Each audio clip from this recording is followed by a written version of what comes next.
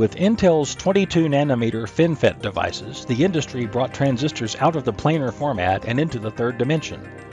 Wrapping the gate around the fins allows us for control on the channel on three sides, providing lower gate delay and reduced voltage leakage over the 32 nanometer predecessors. Intel refers to the processor that implements these transistors as the Ivy Bridge. This is another innovation helping to maintain the semiconductor industry on Moore's Law. To begin fabrication, we start with shallow trench isolation, shown here in the NMOS region.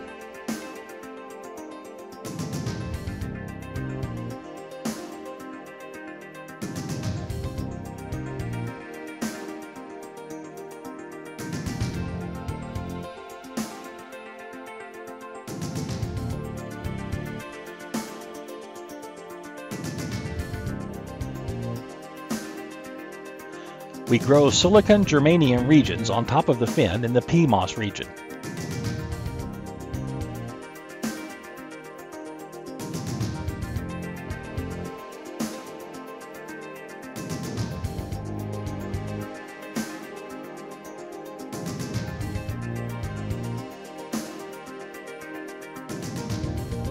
Using LPCVD methods, we place dielectric layers, such as hafnium oxide or silicon oxide, on the fin.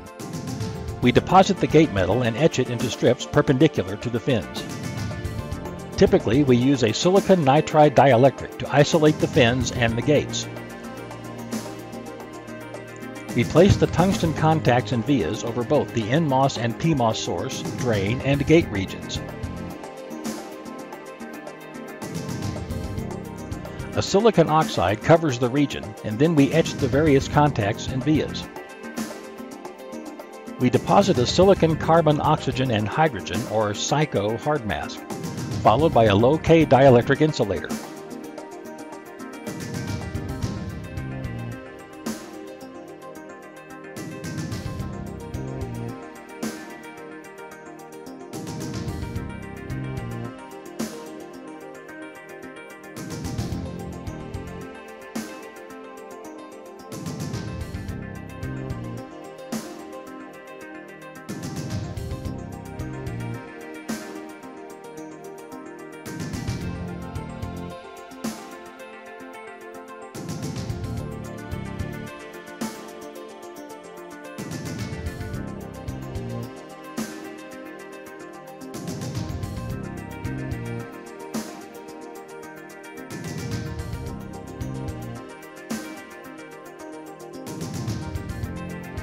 After we etch wire trenches and vias, we use tantalum nitride as a liner before copper is deposited.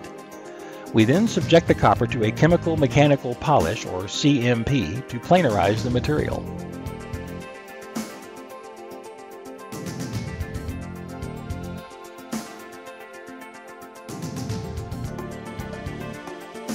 We construct each new metal layer with the same method. SiCO hard mask, low K dielectric insulation, wire trench etching, dual damascene vias that breach the SiCO hard mask to the lower metal layer, tantalum nitride or other liner deposition, copper deposition, and finally the CMP planarization process. Each metal layer or group of metal layers is typically larger than the previous.